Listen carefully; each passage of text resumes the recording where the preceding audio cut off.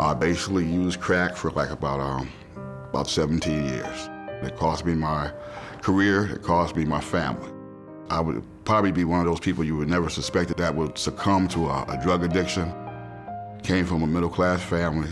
I'm the oldest of four kids. All four of us are college educated.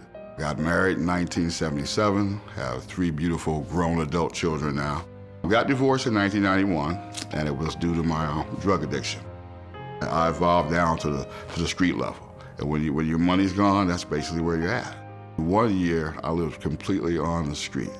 This is a 22 long bullet that I still have in the back of my eye right here that I have no, no sight on in the back of my eye and bullet fragments all in my skull. And I, I got this from some young kids in a place where I wasn't supposed to be. About six years ago, I gravitated back into the neighborhood where, where my ex-wife and my kids were living. And I was sitting on a park bench. Then I looked up, and there was my adult son walking his dog. And he said, Dad, what's going on with you? I'm sitting out here. I, had, probably had the same clothes on for three or four days. Had no money in my pocket. I said, well, hey, I have nowhere to go. My son gave me 13 bucks and took me to the subway station and said, like, hey, you need to get out of here. And that's when I got tired of being sick and tired.